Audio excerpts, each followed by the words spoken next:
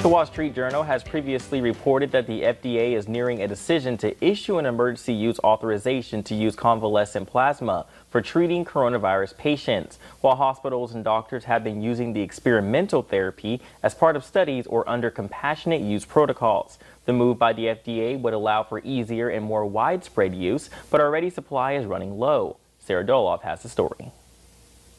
COVID 19 hit the Miles family hard, infecting four members, sending Dad Franklin to the hospital. We got to a point where I couldn't maintain my, my oxygen level on my own.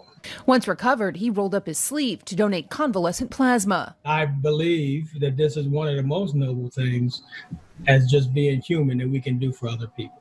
Plasma, the liquid portion of blood, is rich in proteins and antibodies and has been used to treat other outbreaks, including SARS, MERS, and Ebola.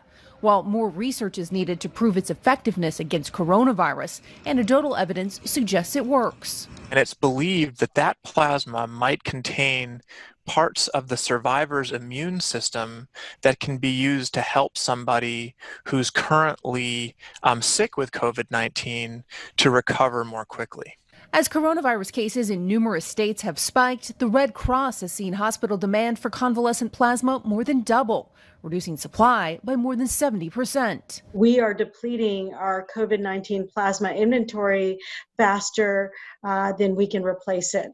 Now, the organization is issuing an urgent plea for donors like Franklin Miles. While he didn't receive plasma as part of his treatment, he wants to do all he can to potentially help other patients. I'm all getting ready to schedule my fourth donation. A possibly life saving gift currently in short supply. Sarah Dallof, NBC News.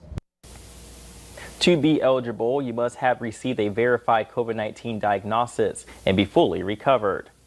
Well, still ahead at noon, Mr. Food is putting a twist on a classic dish.